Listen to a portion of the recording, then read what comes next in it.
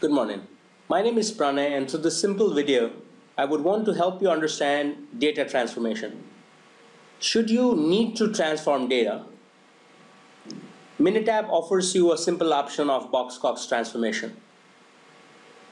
I hope you already know that data transformation becomes an important exercise as certain hypotheses tests in Six Sigma mandates that data must be normally distributed before you can conduct those exercises. You know, tests like one sample T, two sample T, ANOVAs, etc.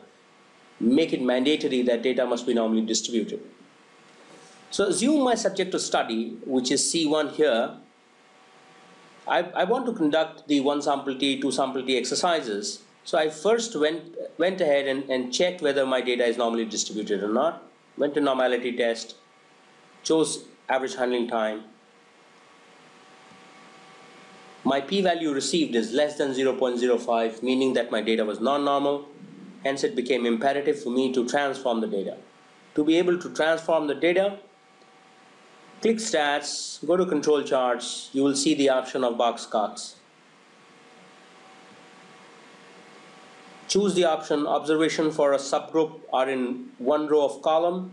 Choose your subject to study which in my case is average handling time. Click options choose the cell number that you would want to store it in. C26 is, is the row that I would want to store it. Press OK. OK. Here you go. This is done.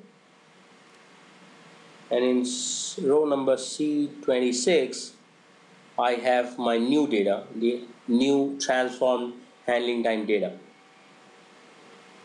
I'll do it again for you. Stats, control chart, Box-Cox transformation.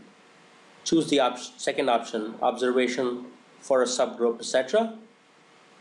Select the data, go to options, give it the uh, row number that you would want to store your data in. Press OK and that's it. That is how you transform your data. I hope this uh, simple video helps you understand how do you transform data using Minitab.